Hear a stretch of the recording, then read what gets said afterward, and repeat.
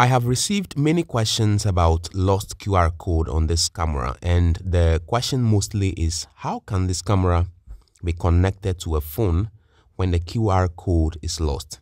And so in this video, I will show you how you can link this camera to your phone even if the QR code is lost. So I'll first install it into the lamp holder and power it up. After you have heard the prompt from the camera indicating access point ready, you can then go onto the phone and if you haven't yet installed your app, you will have to download and install the V380 Pro app on your phone.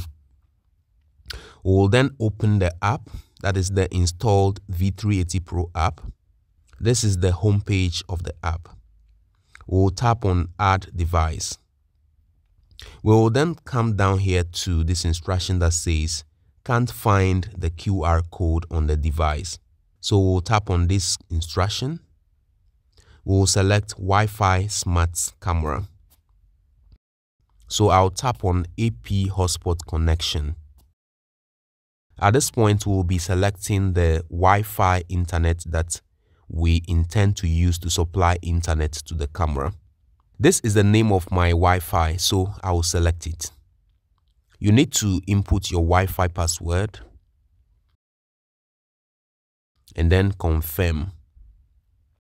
There is an instruction here that we need to pay attention to.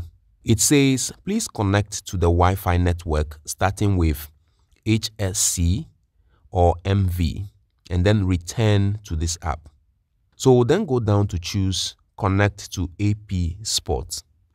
It says after connecting to the device hotspot that starts with HSC or MV, please return to the app to complete the networking. We'll tap on I know. So it's now searching for the camera's hotspot. So this is undoubtedly the camera's hotspot since it starts with MV. So we'll select it. It is connecting. We will select connect only this time.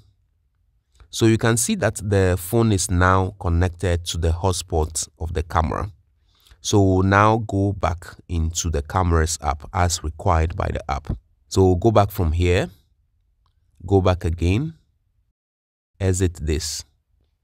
So the camera is now establishing a link to the phone through the app. It is completed. We will name the camera. I will select Office, tap on Finish. To view the live camera, you will have to tap on the play button. And you can see the live camera now.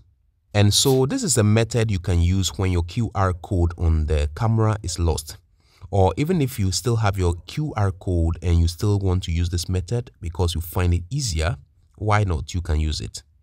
If you find value in this video, please ensure you give it a thumbs up and also subscribe to the channel.